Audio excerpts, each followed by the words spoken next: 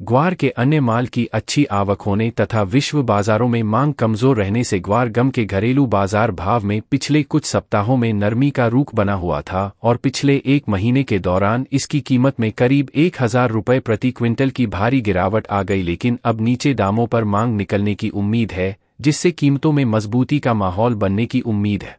राजस्थान के जोधपुर में ग्वार गम का भाव पहले तेज हुआ था, मगर बाद में एक हज़ार रुपये गिरकर दस हज़ार चार सौ से दस हज़ार पाँच सौ रुपये प्रति क्विंटल पर आ गए। इसके फलस्वरूप ग्वार सीड की कीमत भी दो सौ रुपये नरम पड़कर पाँच हज़ार दो सौ से पाँच हज़ार दो सौ पचास रुपये प्रति क्विंटल रहेगा गुजरात के अहमदाबाद में भी ग्वार गम का भाव घटकर दस हज़ार चार सौ से दस हज़ार पाँच सौ रुपये प्रति क्विंटल रह गया, जबकि पहले ग्यारह हज़ार सात सौ से ग्यारह हज़ार आठ सौ रुपये प्रति क्विंटल चल रहा था। वैश्विक बाज़ार में इसकी मांग कमज़ोर पड़ गई थी। देश के अंदर ग्वार के शीर्ष उत्पादक प्रांतों में राजस्थान, गुजरात तथा हरियाणा शामिल है, जबकि कुछ अन्य राज्यों में भी सीमित क्षेत्रफल में इसकी खेती होती है। राजस्थान ग्वार का सबसे प्रमुख उत्पादक राज्य है और देश में करीब 70 से 75 प्रतिशत ग्वार का उत्पादन इसी प्रांत में होता है। पिछले साल की तुलना में वर्ष 2024 के खरीफ सीज़न के दौरान राजस्थान तथा गुजरात में ग्वार का बिजाई क्षेत्र कुछ घट गया जबकि हरियाणा में ज़्यादा बदलाव नहीं आए।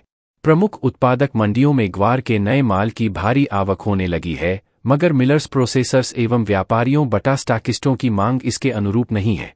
वायदा एक्सचेंज में भी पिछले दिन ग्वार सीड एवं ग्वार गम का भाव कुछ कमज़ोर रहा। प्रमुख आयातक देशों अमरीका, जर्मनी, इटली, रूस एवं फ्रांस आदि में ग्वार गम की मांग पहले कमज़ोर चल रही थी, मगर अब बढ़ने की उम्मीद की जा रही है।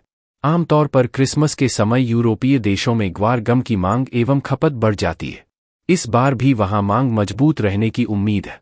कृषि एवं प्रसंस्कृत खाद्य उत्पाद निर्यात विकास प्राधिकरण, एपीडा के आंकड़ों से पता चलता है कि चालू वित्त वर्ष की पहली छमाही में यानी अप्रैल सितंबर 2024 के दौरान देश से ग्वार गम का निर्यात सुधरकर दो दशमलव दो सात लाख टन पर पहुँच गया, जो पिछले साल की समान अवधि के शिपमेंट दो दशमलव एक छह लाख टन से ग्यारह हज़ार टन हज़ार भारत ग्वार का सबसे बड़ा उत्पादक एवं गम का सबसे प्रमुख निर्यातक देश है।